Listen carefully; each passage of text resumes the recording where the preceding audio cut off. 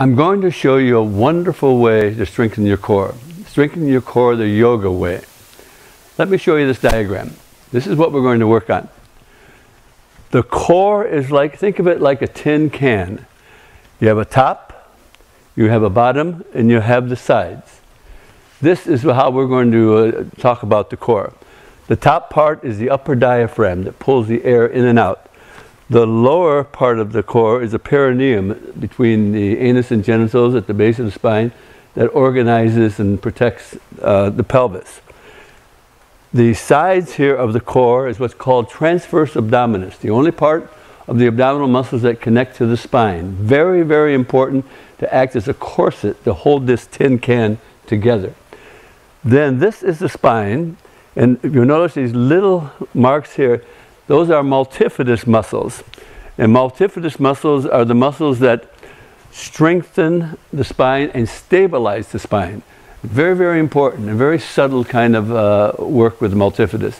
If you ever have a back problem and you went to someone that know what were, knew what they were doing, they would work on the multifidus because no matter what position your spine is in, the multifidus, it'll hold you stable. So it means uh, you'll be pain-free, hopefully. So I'm going to go through this and show you the uh, exercises we're going to do. Let's first start with the upper diaphragm up here between the chest and the abdomen that pulls the air in and, and pushes it out. So bellows breathing is this. It's done with a sense of power, not force now, power. So always start by breathing out. As I breathe out, hear the sound, bellows, it's like a bellows. It's strong on both sides. As I breathe out, the diaphragm goes up. Now as I breathe in, the diaphragm goes down. I breathe out. And I breathe in.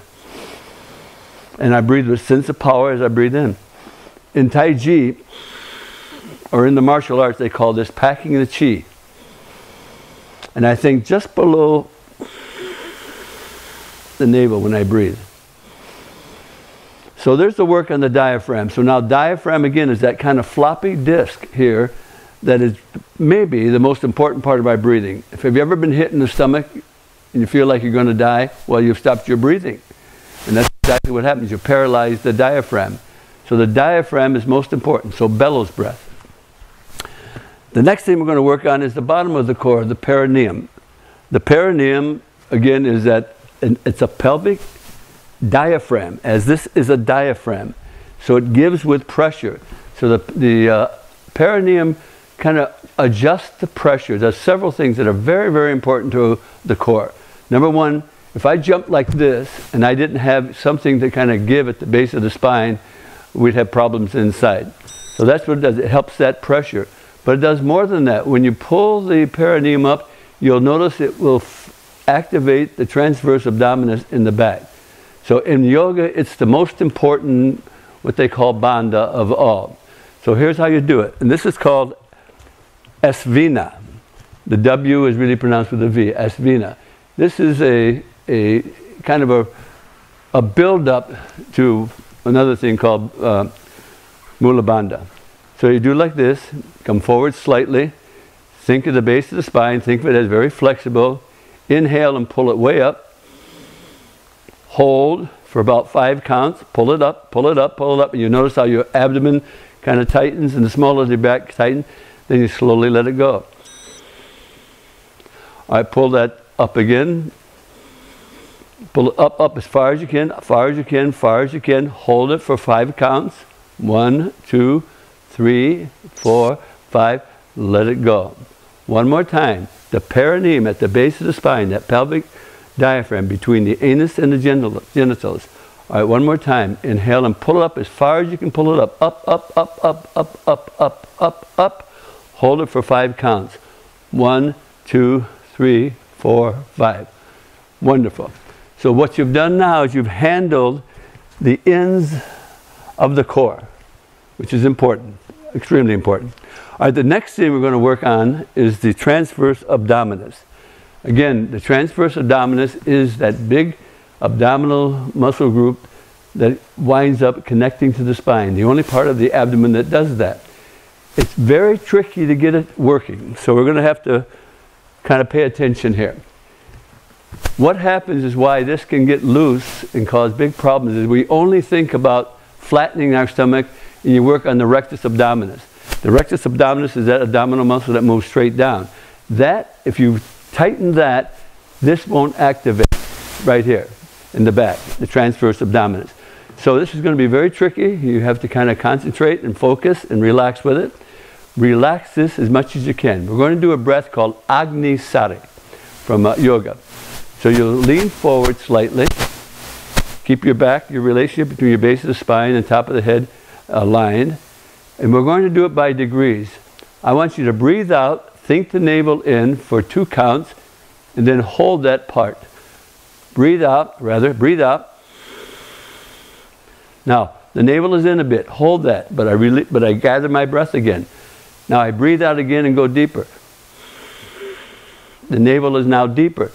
Now relax the front. Relax the front. You should start feeling it in the back. Now third time. Breathe out and let that navel go against the spine. Very relaxed in the front. Then come up and take a big breath. Now, if you did not feel it in the spine, it's because you tightened this and you focused too hard here. You can't do that. So let's do it one more time and see if we can do it. Everyone do this. Take your hand, massage the belly. Keep that belly soft. This is not this military kind of pulling the stomach thing. Keep the belly soft. Soft, soft, soft. Let's try it one more time now. Now let's get what we're doing. Let me turn this direction. Slightly forward. Now, I'm going to push the navel in as I breathe out. Relax the belly, relax the belly. I'm going to push it in deeper. Now relax the front. Oh, now I felt it very nice contraction there. Let's do it one more time, the third time. Breathe out, think it going against the spine, completely release, relax the front. Good. If you haven't gotten it, keep working with it. You can get it, okay? So that's extremely, extremely important to have this strapping that holds your core and all your movement, okay? Now I want to talk about the multifidus muscles. These are the most difficult muscles to work with.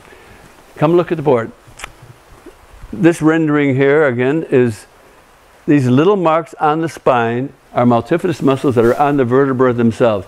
Their function is to stabilize the spine. I don't care what position your spine might be in, it stabilizes it, whether it's here, here, or whatever. And this probably is the, if you ever have to go to a physical therapist for this, they probably would do exercises to strengthen the multifidus. The key to it is this, just like the transverse abdominis work, you must relax the large muscles. If you let the large muscles dominate, the multifidus muscles will not work, they'll stay lazy. I'm going to have my friend here and compatriot, uh, Pavla, who is a well-known physical uh, uh, massage therapist in this area, who's going to demonstrate the exercises for the multifidus. So Pavla, come in please. And if you get on your back, please. All right, the first one, which is very powerful in this way, once you get it, is what I call the slanted bridge. So you're going to push her navel up. You're going to put her hands on here. So now the only thing supporting her is the back muscles, are the back muscles. But now, this is the tricky part. And you've got to take those very large muscles, the one that are closest to the skin, you've got to relax those. So relax those muscles. Relax the, the muscles closest to the skin, the very large back muscles. Relax them. Let it go. And once you start letting it go now, now visualize on the spine tiny little muscles on each vertebra starting to work. Now they're starting to get exercise. But you have to relax the large back muscles first. And, uh, and essentially you should hold this for about 30 seconds. And your, your only task is to relax the large muscles and let the tiny little muscles on the spine do the work. 30 seconds. Good. And you can always do this more than once. So roll out of it slowly when you're through. Wonderful. All right, the second one, and there's many, many exercises for this, but these are two that I like and I think are powerful, is what I call the alternate leg lift. So you get on all fours, Now, if you're just starting this exercise, you might just start with just put, put your left leg out. Put your left leg out. Slightly good. And that only that, maybe to start. Because really what we want to get to is this. Pull that leg back. And by the way, now, now, whenever you lift your leg, never lift it straight up. Always straighten it out so the back doesn't grab at it. So this one you're going to make that left leg go out. You're going to bring the right arm up. The right arm up. You're going to stack your arms right over the joint. And there it is. And you hold this for about 15 counts. One, two, three, about a second each count. And then again, what you've got to do, is you've got to relax those large back muscles so that the small muscles, these muscles, the multifidus, are now working.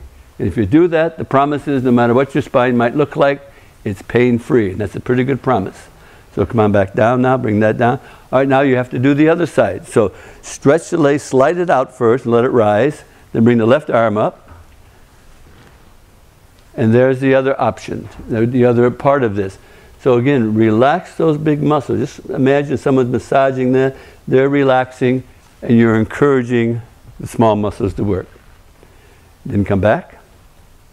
Good. And then sit back and round your back a bit, just for relaxation. Good. And child pose.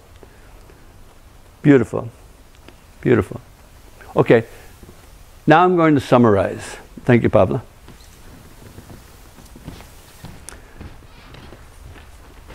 So let's go, let's go back to this. This is our core.